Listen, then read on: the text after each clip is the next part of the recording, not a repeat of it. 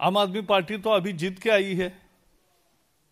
इनका काम है जहाँ वो जीते और जहाँ दंगा, ये हिंसा भड़की, वहाँ जाके लोगों में बात करे, काम करे, वो कर नहीं रहे, बल्कि विधानसभा में मुख्यमंत्री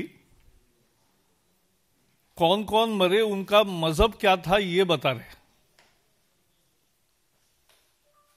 तो ये और कांग्रेस,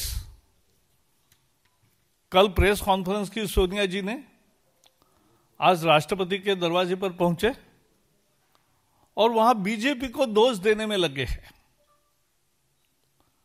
लेकिन मैं बताना चाहता हूँ कि ये दो महीने का आंदोलन केवल नहीं है, यानी आज दो दिन की हिंसा नहीं है। दो महीने से लोगों को उकसाया जा रहा है।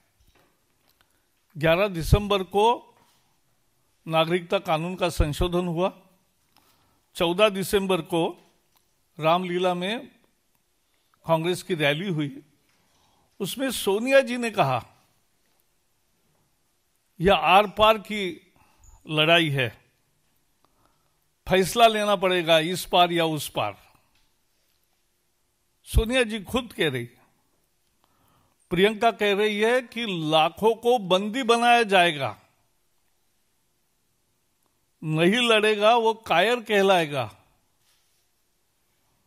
राहुल गांधी ने कहा, आप डरो मत, कांग्रेस आपके साथ है। अरे, किसकी नागरिकता जा रही थी? किसी की नागरिकता नहीं जानी है, ये मालूम होते हुए भी जानबूझकर ऐसी गलत बयानी और डर पैदा करना ये इसकी पृष्ठभूमि है।